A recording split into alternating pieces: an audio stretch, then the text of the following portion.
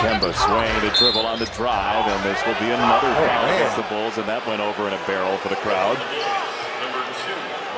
It's on Lonzo Wow. Ball. That's his fourth foul and the Oh, team's wow. fourth. And Lonzo just took himself to the bench.